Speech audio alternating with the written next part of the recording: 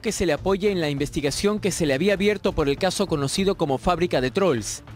Alejandro Soto habría utilizado su cargo de presidente del Congreso de la República para obtener beneficio propio.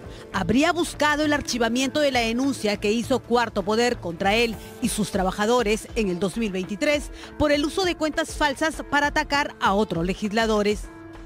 Así lo ha narrado Jaime Villanueva, el ex asesor de Patricia Benavides, quien dijo que se aceptó el pedido de Soto a cambio que éste, por el cargo que ostentaba, priorice como tema de agenda parlamentaria la remoción de los miembros de la Junta Nacional de Justicia. A eso es lo que se comprometió Soto, hacer que en el siguiente pleno se vote el tema de la remoción y aquí en la Fiscalía de la Nación se le iba a ayudar con su investigación. La idea era que se archive como dije, no inmediatamente, sino después de un tiempo. El pedido de Soto habría incluido también que el fiscal a cargo de su investigación acuda al Congreso de la República a tomar su declaración. Solicitud que fue rechazada de inmediato. Le explicaron que él no era testigo, sino un investigado.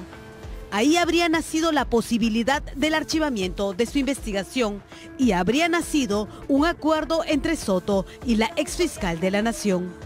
Él se comprometía a que se vote el tema de la remoción en el Pleno, que creo que era el día siguiente a los dos días que tuvimos esa reunión. Según Villanueva, Patricia Benavides aprobaba qué cosas podían comprometerse y cuáles otras no. Preciso, cuando yo llego a este tipo de acuerdos es porque anteriormente ya lo he coordinado con la doctora Benavides, porque era ella la que me decía si se podía o no se podía. Yo no soy abogado, no soy fiscal, yo le decía, por ejemplo, amiga, el congresista está pidiendo esto, y era ella la que me decía si se puede o no se puede.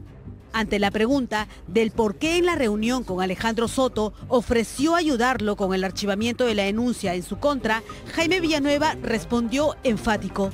Porque eso me había manifestado la doctora Patricia Benavides.